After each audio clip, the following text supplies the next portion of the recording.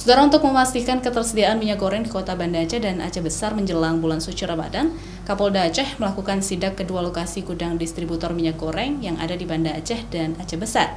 Karena sebelumnya minyak goreng di Aceh sempat langka di pasaran.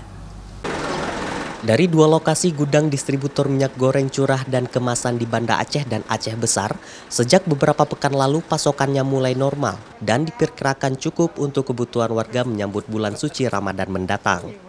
Sidak gudang distributor minyak goreng dilakukan Kapolda dan jajaran ini dilakukan untuk mengawal agar tidak terjadinya penimbunan atau memainkan harga oleh pihak tertentu yang ingin memanfaatkan situasi untuk meraup keuntungan lebih.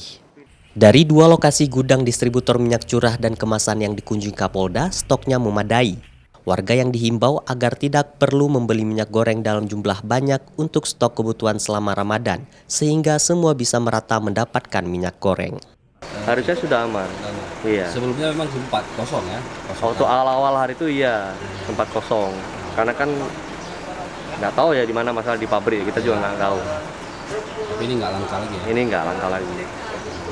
Yang penting itulah masyarakat jangan panik itu aja yang penting.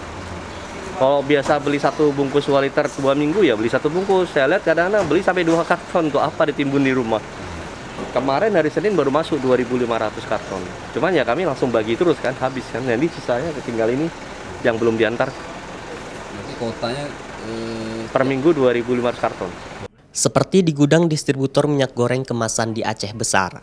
Setiap minggunya, ia mendapat pasokan minyak goreng dari Medan Sumatera Utara sebanyak 2.500 karton untuk didistribusikan kembali ke penjual yang ada di Banda Aceh dan Aceh Besar dengan harga Rp14.000 per liternya.